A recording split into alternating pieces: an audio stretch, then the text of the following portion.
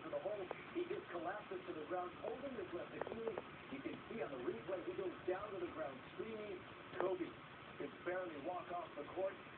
It's clear that he's in pain. His teammates heartbroken, helping him back to the locker room. Kobe will have an MRI tomorrow morning. Right now, the team is calling it a probable torn Achilles. Kobe's season is more than likely done. We'll hear from an emotional Kobe later in sports. For now, let's go back to the team. All right, copy then, Mario.